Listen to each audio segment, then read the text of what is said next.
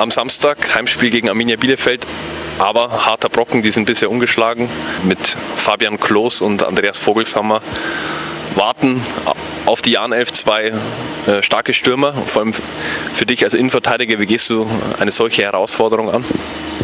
Ja, gegen, gegen die Jungs, gegen die Männer habe ich ja auch schon des Öfteren gespielt. Also ich weiß, was mich erwartet. Und, ähm, aber das, die jetzt irgendwie herauszuragen, klar, sie machen die Tore, aber ähm, da gehört ein bisschen mehr dazu. Und gleichzeitig hast du Woche für Woche eine ähnliche Qualität äh, bei den Mannschaften. Und ähm, ja, das ist ja auch das, auf was du dich freust, dass du dich mit, mit guten Spielern messen kannst. Und äh, ich freue mich eher drauf. Also es ist jetzt nicht, dass mir Angst und Bange ist, äh, wird, sondern ähm, wird ein gutes Duell. Ich weiß, dass, dass äh, alles von dir fordern, aber das willst du auch.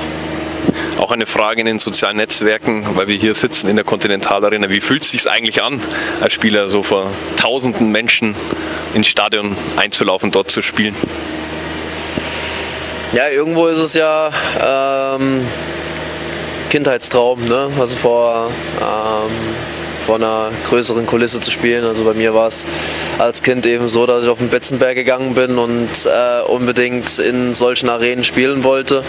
Und ähm, glücklicherweise ähm, ist es bei mir schon seit äh, mehreren Jahren so, dass ich das äh, Privileg habe, äh, Jahr für Jahr in solchen Arenen auflaufen zu dürfen. Und genau so eine haben wir hier auch in Regensburg.